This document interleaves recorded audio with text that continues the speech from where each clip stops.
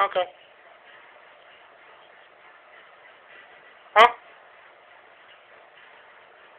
Yeah. Like through the holes every time we got to touch gloves. Alright, good luck, man.